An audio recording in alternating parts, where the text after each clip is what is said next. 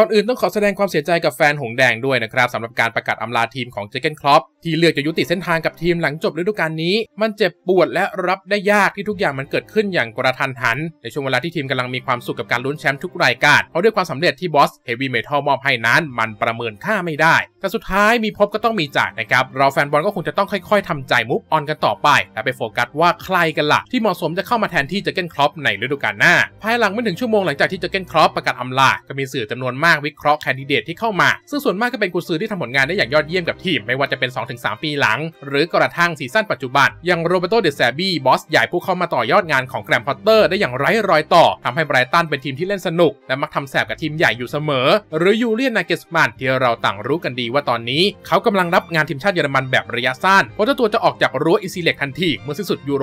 2024 ในช่วงซัมเมอร์ที่จะถึงนี้ แม้กระทั่งมิเชลกุนซือที่พาทีมเล็กๆอย่างกิโรนาขึ้นไปเบียดลุ้นแชมป์กับทีมยักษ์ใหญ่ประจำลีกอย่างเรอัลมาดริดและทำให้บาร์ซ่ากลายเป็นทีมเบอร์2ของแคว้นคาตาลุญญาในซีซั่นนี้ไปซะอย่างนั้น แต่คงไม่มีชื่อไหนที่แฟนหงแดงพูดมากเท่ากับชายคนนี้ ผู้ที่ครั้งหนึ่งเขาเคยมาวาดลวดลายที่แอนฟิลด์อยู่หลายปี ชายที่เปิดบอลแม่นยำราวจับวางพร้อมมาดคุณชายสุดหล่อที่ยังคงเป็นแบบนั้นจนกระทั่งเป็นกุนซือใช่แล้วแหละครับเพราะคนนั้นคือซาบีอลอนโซเฮดโค้ชหนุ่มวัย 42 ปี ผู้เปลี่ยนแปลงให้ไบเออร์เลเวอร์กูเซนจากทีมลุ้นพื้นที่ยุโรปสู่ลุ้นแชมป์เต็มตัว โดยการนำจ่าฝูงบุนเดสลีกาแบบไร้พ่ายนำซ้ำนะครับยังยิงกระจุยถึง 85 ประตู หลังผ่านไปเพียงแค่ครึ่งฤดูกาลเท่านั้น ทุกอย่างมัน perfect เหมาะเจาะที่ทำให้แฟนลิเวอร์พูลต่างสรรเสริญเขานะครับก่อนที่คล็อปป์จะมาประกาศลงจากตำแหน่งซะอีก นั่นจึงไม่แปลกเลยที่ซาบีอลอนโซจะกลายเป็นเต็งหนึ่งที่จะเข้ามาแทนที่คล็อปป์ในภายภาคหน้า เพราะฉะนั้นนะครับวันนี้ทีมงานฟุตบอลแม็กจะพาทุกท่านไปวิเคราะห์ร่วมกันว่าอะไรจะเกิดขึ้นบ้าง หากซาบีอลอนโซตัดสินใจมาคุมลิเวอร์พูลจริง ๆ แฟนบอลพร้อมหนุนหลังเต็มที่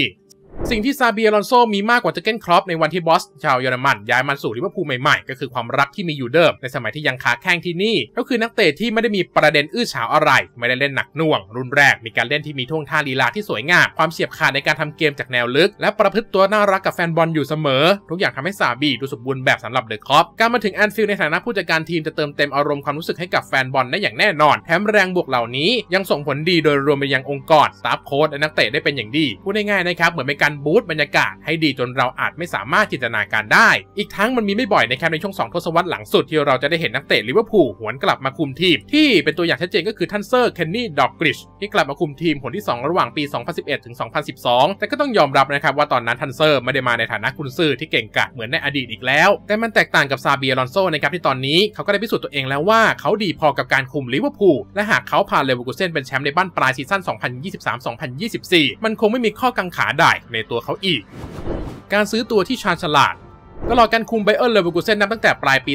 2022 ซาเบีอลอนโซใช้เงินเสริมทัพไป 92.4 ล้านยูโร ซึ่งถือเป็นตัวเลขที่มากก็จริงอยู่นะครับ แต่เงินเหล่านี้ถูกใช้ไปกับนักเตะมากถึง 11 คน โดย 8 คนจากในนั้นเกิดขึ้นในช่วงซัมเมอร์ 2023 ที่ผ่านมา แน่นอนว่าการเจรจาค่าตัวเป็นเรื่องของผู้อำนวยการกีฬา แต่ในฐานะกุนซือเขาเองก็ต้องเลือกนักเตะที่คุ้มค่าแก่การลงทุนเช่นกัน ซาบีได้แบ็กซ้ายตัวท็อปในชั่วโมงนี้อย่างอเล็กซ์กริมัลโด้มาจากเบนฟิก้าแบบฟรีๆ แล้วดูสิ่งที่แข้งกระทิงดุคนนี้ทำกับเลเวอร์กูเซนสิครับเขากลายเป็นแกนหลักสำคัญในการสร้างสรรค์เกมไปแล้วด้วยจำนวนการมีส่วนร่วมกับประตูมากถึง 29 ประตูเลยทีเดียว รวมถึงนักเตะอย่างวิกเตอร์โบนิเฟสที่ก่อนเขาจะย้ายมาก็มีคนจำนวนไม่น้อยนะครับที่ไม่เคยรู้จักมักจี่เขาเหมือนกับนักเตะที่ดังในตลาดอย่างราสมุสฮอยลุนด์หรือวิกเตอร์โยเกเรสเลยด้วยซ้ำแต่ถ้าว่าเงินจำนวน 20 ล้านยูโรที่โอนให้กับยูเนียนแซงชินลัวกลับคุ้มค่าทุกยูโรเลยนะครับเบอร์ดาวยิงไนจีเรียกดไปถึง 16 ประตู 8 แอสซิสต์จาก 23 เกมในซีซั่นนี้ อีกทั้งการเสริมเก๋ากับนักเตะอย่างกรานิชาก้าจากอาร์เซนอล 25 ล้านยูโรและโยนัสฮอฟมันตัวรุกดีกรีทีมชาติเยอรมันจากกลัดบัคด้วยค่าตัวเพียงแค่ 10 ล้านยูโรมันทำให้ทีมนั้นถูกเติมเต็มความสมบูรณ์แบบในแทคติกเข้าไปอีก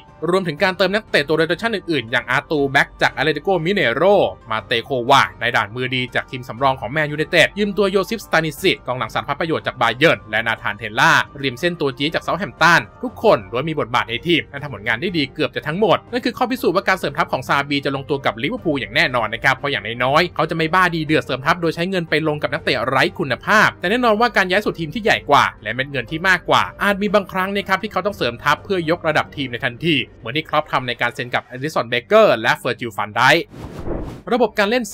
3-4-3 ระบบหลังสามไม่ใช่อะไรที่ลิเวอร์พูลคุ้นเคยตลอดหลายปีที่ผ่านมา คลอปมักใช้แผงหลังยืนเป็น back four อยู่เสมอ แต่มันอาจเปลี่ยนไปหากทีมได้ซาบีมาคุมทีม เราอาจได้เห็นเฟอร์จิลฟานไดค์ยืนเป็นปราการหลังด้านซ้ายโกนาเต้ยืนตรงกลาง และอีกคนน่าจะเป็นเซนเตอร์ที่มาใหม่ แต่ถ้าไม่เราอาจได้เห็นโจโกเมสยืนตรงนั้นหากว่าเขายังอยู่นะแน่นอนว่าระบบนี้จะต้องมีการเติมเซนเตอร์แบ็กอย่างน้อย 1-2 คนในซัมเมอร์ 2024 แล้วเหล่าบรรดานักเตะที่มีข่าวกับลิเวอร์พูลก็จะกลับมามีข่าวอีกครั้ง เช่น มาร์กเกฮีจากพาเลซลีวายโคลวิลล์จากเชลซี กอนซาโลอินนาซิโอ และอุสมาเน่ดิโอมันเดจากสปอร์ติ้งลิสบอนหรืออาจจะเป็นใครสักคนจากไบเออร์เลเวอร์เซนก็ได้นะครับไม่ว่าจะเป็นโจนาธานทา เอ็ดมอนแทปโซบาหรือโอดิลอนคอสซูนูพยายามมาที่วิงแบ็กเราอาจได้เห็นเทรนต์มีอิสระในการทำเกมมากขึ้น อย่างเช่นที่อเล็กซ์กริมัลโด้ทำกับไบเออร์เลเวอร์กูเซนบางทีเขาอาจจะกลายเป็นปีศาจไปเลยก็ได้ หากเรามองจากวิธีการเล่นและความแม่นยำที่อาจชัวร์กว่ากริมัลโด้ในจุดนี้ทางซ้ายร็อบโบ้ยังคงวิ่งเติมเกมแบบมันๆได้สบายๆเหมือนยุครุ่งเรืองของเขาที่เติมไปจนสุดและได้ยิงประตูเหมือนทุกวันนี้ที่ฟิล์มโป่งได้ประโยชน์จากจุดนั้นที่ไบอารีนาแถมทีมยังมีคอสตาชิมิกาที่น่าสนใจมากว่าหากเขาได้เล่นวิงแบ็กเกมรุกที่ยอดเยี่ยมของเขานั้นจะถูกขับศักยภาพออกมามากน้อยแค่ไหนเริ่มมาที่ตำแหน่งกองกลางกันบ้างนะครับในระบบของซาบีเขาจะใช้กองกลาง 2 คนนั่นคือเอเซเกลปาราซิออสและกรานิชาก้าที่มีลักษณะที่เกื้อหนุนกันทั้งเกมรุกและรับ อีกคนเติมเกมรุก อีกคนต้องระวังสวนกลับ อีกคนแจกบอลแนวลึก อีกคนต้องเป็น hard man หรือเล่นเกมรับ คอยหาจังหวะเติมหลังกองกลางหมายเลข10ที่ลิเวอร์พูลพวกเขามีอเล็กซิสแม็กอลิสเตอร์ไรอันกราเฟนแบร์ชวาตารุเอนโดโดมินิกโซบอสไลน์และเคอร์ติสโจนส์ที่เหมาะสมจะยืนตรงนั้นได้สบายๆ และแต่เป็นตัวหมุนเวียนที่เหมาะสม นี่ยังไม่รวมเจ้าหนูสเตฟานบายเซติดที่รอวันกลับมาจากอาการบาดเจ็บ หรือถ้าจะเสริมอีกสักคนก็ถือว่าดีเหมือนกันนะครับ ขยับไปที่ตัวรุกอยู่หลังกองหน้า 2 คน ระบบตรงนี้เป็นได้ทั้งหน้าเป้าและแนวรุกริมเส้นนะครับที่ลิเวอร์พูลมีให้เลือกใช้แบบจัดเต็ม และมีมิติที่แตกต่างกันไม่ว่าจะเป็นหลุยส์ดิอาซที่ยืนทางด้านซ้าย ร่วมกับทางขวาที่ยังไงก็ต้องเป็นโมซาล่าเหมือนที่เลเวอร์คูเซนมีฟลอเรียนเวียร์ตซ์และโยนัสฮอฟมันพ่วงด้วยตัวเลือกรองที่แตกต่างอย่างเดียโกโชต้าฮาร์วีย์เอลเลียตต์หรือเจ้าหนูเบนโด๊กส่วนหน้าเป้าเป็นการแข่งขันกันระหว่างดาวินนูนเยสและโคดี้กัปโปที่ต่างก็เป็นกองหน้าที่มีส่วนร่วมกับการทำเกมทั้งคู่เหมือนกับวิกเตอร์โบนิเฟสที่เล่นแบบนั้นกับเลเวอร์คูเซนสิ่งเหล่านี้จะทำให้กุนซืออย่างซาบีลอนโซสนุกกับการคุมทีมอย่างแน่นอนด้วยคุณภาพที่ต้องบอกว่าอาจจะสูงกว่าเลเวอร์คูเซนของเขาที่แค่คิดก็อยากเห็นเขามาคุมทีมแล้วนะครับถึงแม้จะฝอยไปเยอะแต่ทั้งหมดมาจากการวิเคราะห์โดยข้อมูลและเชื่อว่าแฟนหงส์แดงคงจะชอบมากเพราะณเวลานี้ก็อย่างที่บอกไปในตอนต้น เราไม่สามารถนึกถึงกุนซือคนใหม่คนไหนได้มากไปกว่าซาบีลอนโซอีกแล้วเพราะฉะนั้นมาจับตาดูกันนะครับว่าเขาจะได้มาที่นี่จริง ๆ หรือไม่ข้อจริงๆนะครับตลาดซัมเมอร์ 2024 ที่จะถึงนี้มันอาจจะเข้มข้นแค่การย้ายตัวของนักเตะนะครับเพราะตลาดกุนซือก็อาจจะมีการเปลี่ยนแปลงมากกว่าที่คิด น่าจะมีพี่บิ๊กหลายทีม พร้อมเปลี่ยนแปลงผู้กุมบางเหียนอย่างแน่นอนมาลุ้นกันว่าซาเบียลอนโซ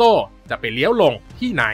และหากชอบคลิปของฟุตบอลแม็กซ์อย่าลืมกดไลค์ กดแชร์ กด Subscribe กดกระดิ่ง เพื่อเป็นกำลังใจให้กับทีมงาน ผลิตคลิปให้ทุกท่านได้ดูกันด้วยนะครับ หากท่านใดมีข้อสงสัยหรืออยากติชมและเสนอแนะสามารถเข้ามาคุยกับเราได้ที่คอมเมนต์ด้านล่างนี้ได้เลยนะครับ เพราะทุกวันคือฟุตบอล football max